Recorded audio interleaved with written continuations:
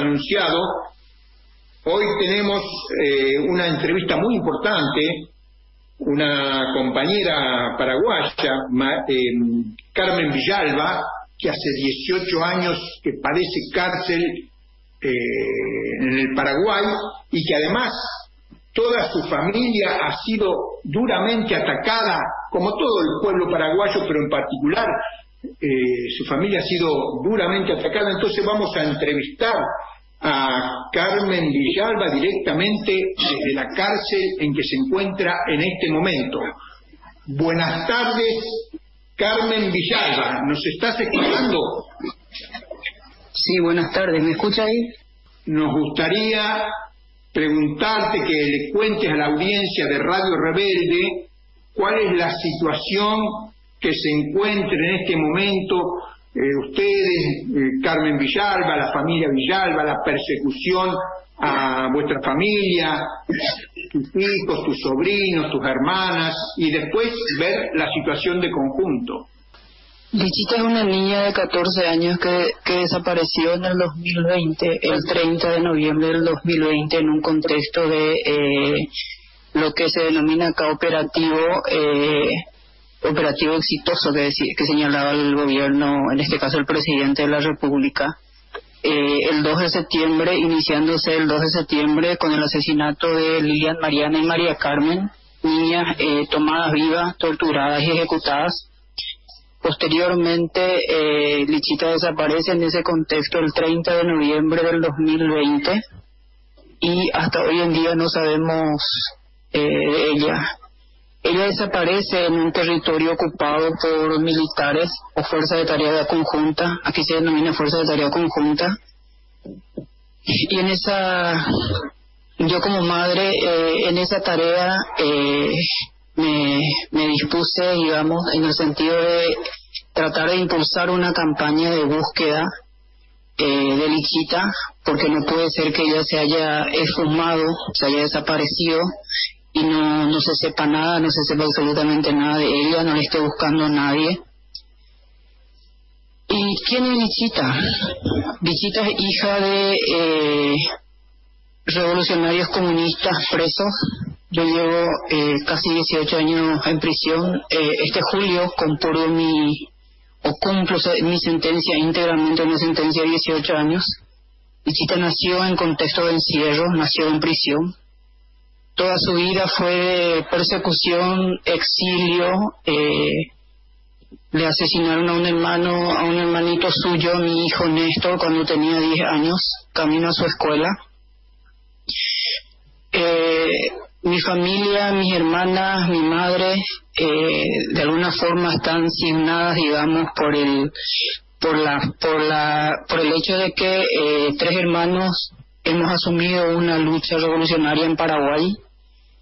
Eh, creo que se conoce el contexto de lucha en Paraguay actual, la crisis política, económica y social, y por otro lado, un sector del campo popular paraguayo Concretamente el campesinado pobre ha asumido una forma de defensa y resistencia a la avanzada de eh, la agricultura capitalista, extractivista, eh, agroexportadora en Paraguay, que viene a, eh, a empobrecer, a recrudecer la pobreza, eh, que ya casi oscila el, el 25 al 30% y que se recrudece hoy, hoy en día con, el, con la pandemia. Y básicamente eh, mi interés, como recalco, eh, se centra en, en buscar apoyo dentro del campo popular latinoamericano y paraguayo eh, para organizar, pensar de alguna forma la búsqueda de Lichita. Porque Lichita no solamente desapareció, Lichita estaba herida en aquel, en aquel operativo llevado adelante por militares eh, ella está desaparecida y es criminalizada. Eh, los medios hegemónicos en Paraguay, impulsados por el gobierno, la trata como terrorista. No considera su condición de desaparecida, eh, de desaparición forzosa, porque eso hay que señalar por el hecho de que ella desaparece en un contexto de operativo militar y en un territorio, en un terreno manejado por militares. Y nosotros acudimos, digamos, a, a varios sectores militantes, me centro más en el ámbito militante latinoamericano y paraguayo por el hecho de que no confío en las instituciones públicas burguesas paraguayas. Eh, de repente pedir pedir que busque a Lichita personas o sector y en este caso eh, a las fuerzas represivas responsables de su desaparición, responsables de, la tortura y asesinato de dos niñas, a quienes después eh, presentan como eh, niñas eh, guerrilleras, y estas nenas tenían 11 años. El, el gobierno paraguayo, de hecho, podríamos señalar como un Estado fallido por el hecho de que hoy en día acusado de, narcotráfico, eh, de sus referentes eh, metidos en narcotráfico, eh, y lo hacen abiertamente, y aparte la crisis generada, la crisis instalada, la crisis de representatividad, de legitimidad ante el pueblo paraguayo, porque tenemos que tener presente un momento político que yo diría importante para el, para el campo popular por el hecho de que ha tomado las calles, las manifestaciones eh, y repudio hacia un régimen fascista, eh, autoritario, que lleva 70 años en el poder. El partido eh, de gobierno lleva 70 años en el poder y lo que ha traído a nuestro pueblo es pobreza, miseria, asesinatos impunes, persecuciones impunes, exilio.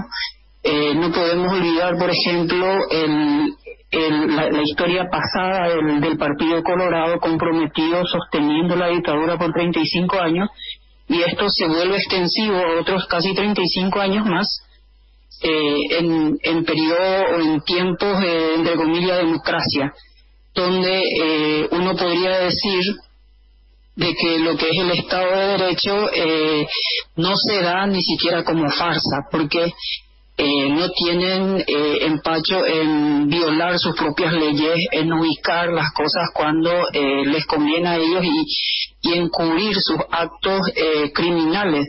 Porque no, no tengo otra denominación para señalar el, el hecho de tomar vivas, torturar y ejecutar a dos nenas y luego presentarla como un trofeo de guerra que hay que festejar eh, como lo, hizo la, la, plana mayor de los militares encabezado por el presidente de la República, y luego la desaparición de una niña. Yo creo que eh, cuando un Estado, cuando un Estado pasa todos los límites y donde ni siquiera la niñez eh, respeta eh, donde ni siquiera tiene compasión con la niñez. La, creo que la niñez, o soy una convencida que la niñez debe estar por fuera de cualquier tipo de confrontación, independientemente a su pertenencia política, ideológica o independientemente a su forma de lucha que asumen sus padres. Eh, creo que esa consideración o esa, ese pensamiento debe tener una sociedad eh, civilizada, que se precie de civilizada y sobre todo que se precie democrática. Creo que eso no, no existe hoy en Paraguay eh, y la, la clara eh, muestra de eso es el, el estado de semiestallido que en el cual se encuentra hoy eh, las masas populares en, en Paraguay. ¿Podrías eso básicamente un poco más este semiestallido de las masas en Paraguay? ¿Cómo? No le, no le escuché bien. Si podrías ampliar referencia al... ¿En qué consiste? De las masas eh, en Paraguay. Sí, mira que vivimos un, un momento histórico muy importante, eh, importante en el sentido que por fin eh, el pueblo pobre sale a las calles a manifestarse y estas manifestaciones son sostenidas en el tiempo digamos, eh, es algo histórico, de hecho, en Paraguay. Por ejemplo, el, el odio que ha generado el partido de gobierno, eh, agravado, digamos, agravándose la crisis eh, pandémica por el hecho de que eh, cientos de familiares se hayan eh, de alguna forma eh, sin, sin posibilidad de acceder a medicamentos y sin posibilidad de salvar a su familia que van muriendo en los hospitales y eh, eso como que colmó el vaso, digamos, de la, de la indignación, del hartazgo y, ¿por qué no?, de una, de un asumir, de una conciencia eh, de, de, no seguir sometida, de no seguir sumisa ante tanta opresión, explotación y miseria. Y eh, yo creo que esa rabia, esa impotencia y esa indignación llevó, por ejemplo, a jóvenes y a un sector militante eh, ir a, quemar parte de ese partido eh, de gobierno que lleva 70 años en el poder y que es responsable de toda esta eh, de, todo este desastre digamos en términos de descontrol de la situación del del covid de de pérdida de fuerza de trabajo de 300 de 300 mil eh, puestos de trabajo, por ejemplo, en estos, en estos un año desaparecieron. Mira que Paraguay, eh, una economía eh, capitalista, semifeudal, eh, su, su desarrollo económico, su producción económica, digamos, se basa en la agricultura. En la agricultura. Hola. Sí, sí, te escuchamos, te estamos escuchando con atención en la agricultura capitalista eh, esta eh, que converge con la agricultura familiar. Paraguay no, no es un país eh, industrial, digamos. Entonces, ese campesino expulsado del campo por, la, por el avance de la agricultura capitalista, extractivista y agroexportadora, eh, viene a formar parte de los cinturones de pobreza y de miseria de las ciudades. Y Paraguay tiene un mercado laboral de, informalidad que llega al 70%, o sea que apenas el 30% de los ocupados, digamos, tienen eh, una ocupación formal, digamos, el resto debe eh, inventarse formas de, de, subsistencia, eh, haciendo trabajos de trabajos de informalidad, digamos, no, no, no teniendo un trabajo y un salario fijo. A eso se le suman los 300.000 puestos de trabajo que, que se perdió en estos un año eh, desde el inicio de la pandemia a, este tiempo. Y eh, creo que también se... Sí. Eh, te quería preguntar, esta situación que estás describiendo de descontento, de bronca, ¿está tomando estructura política, tiene alguna fuerza política que lo, que lo exprese o en qué estado está, digamos, la, organización política tanto del comunismo como de una política frentista del conjunto del pueblo.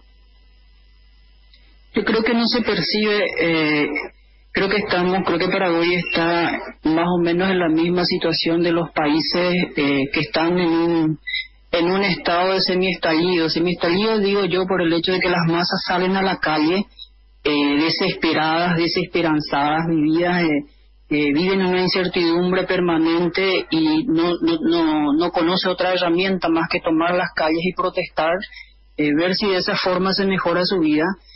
Paraguay está en, parecido a esa situación y creo que tenemos esa dificultad también de la inexistencia de partidos revolucionarios que puedan asumir una vanguardia eh, que pueda de alguna forma eh, unificar ese descontento, capitalizar ese descontento y dirigir hacia posiciones que de alguna forma asegure, digamos, un cambio eh, revolucionario en Paraguay. tenemos esa limitación. Marcelo, estoy en un programa con Paraguay, la cárcel del Paraguay. No te puedo atender ahora, Marcelo. Te escuchamos, Carmen. Eh, Carmen, yo creo que sí, sí, ahí, ahí se escucha. Eh, esta, e, estas condiciones de crisis eh, que se sucede en Paraguay, que sucede en Paraguay, yo creo que es eh, una acumulación de años y de décadas de, lucha, a lo mejor gremial, social, campesina, eh, pero que todavía no, eh, no se percibe, digamos, una un frente o una, una nucleación política que de alguna forma asegure que ese descontento no se disuelva como una pompa de jabón, sino que de alguna forma eh, políticamente pueda sostenerse y pueda perfilarse como una alternativa a los partidos eh, burgueses, los partidos de derecha que permanecen eh, muchísimos años en Paraguay. Al menos desde aquí eh, no percibo, no percibo, digamos, que no sean de repente construcciones de frente circunstanciales electorales no, no se percibe todavía, eso no se percibe en Paraguay. Sí, que en con relación, Carmen, yo pensaba que, que la lucha que tienen ustedes eh, es una lucha, digamos, histórica en el sentido de que la desigualdad en Paraguay es tan grande que es uno de los países con mayor desigualdad con respecto a la, a la posesión de la tierra. Y durante toda la dictadura de Stroessner se adjudicaron más de un millón de hectáreas, ¿no? Ilegalmente, entonces, eh, repensar, digamos, la verdad que escuchándote me, me, me planteo un montón de cosas, ¿no? La idea de la democracia, bueno, esa democracia, si es democracia, tiene que dar vuelta toda esta situación de injusticia, digamos. Yo creo que eh, de repente ese rótulo de democracia en Paraguay, eh, tal vez la democracia es pero para los de arriba, para la clase dominante, eh, por el hecho de que se incorporó eh, ese sector relegado, digamos, de la, de la derecha o de la pequeña burguesía, eh, relegados o excluidos del poder político. Y que a lo mejor con el, eh, con el que, con el término de la, de la dictadura, que para nosotros en realidad fue un arreglo interburgués, no podemos no podemos decir de que haya habido una, un cambio significativo importante que favorezca al pueblo, excepto que se sumaron más medios de comunicación hegemónicos, eh, se habilitaron partidos eh, dentro, digamos, del modelo eh, democrático burgués, que de alguna u otra forma también fue, qué sé yo, decayendo, ¿verdad? Declinando su, su importancia, eh, declinando eh, la posibilidad de, construir y de favorecer realmente a las masas populares, porque ¿cuál es el sentido de la democracia paraguaya para las masas populares? Yo creo que ninguna. Ninguna, eh, en el sentido de que no, no, no ve sus condiciones de vida mejorarse o cambiarse, no solamente no, no está accediendo a lo básico, porque el salario mínimo no, no existe para ese amplio sector informal y sobre todo al campesino.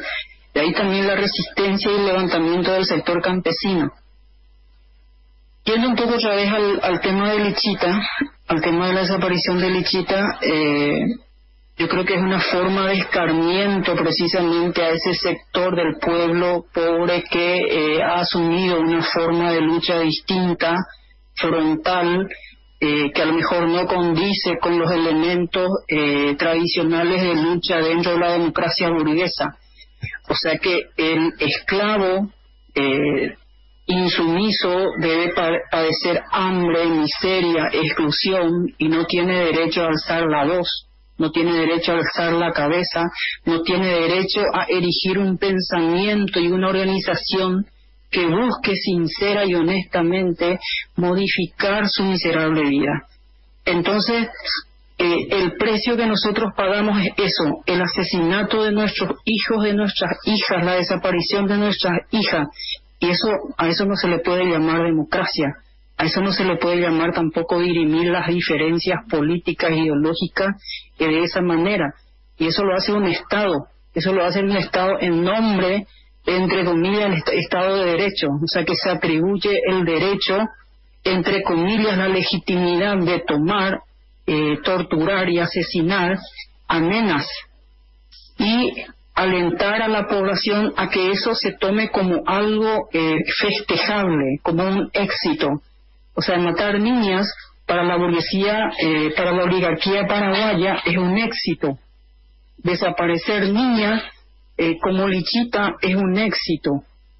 Es, es una forma, digamos, de eh, disciplinar a ese sector revolucionario que pretende no someterse y no acepta eh, un estado, a un Estado fallido, un Estado permeado por el narcotráfico, un Estado que con un partido que lleva 70 años en el poder, imponiendo a fuego y sangre su voluntad, la voluntad de una élite, porque acá en Paraguay tenemos eh, como dos mil eh, ricos que de alguna forma concentran la riqueza y el resto se halla en una pobreza que no, no se ve, no se percibe que pueda cambiarse esa situación.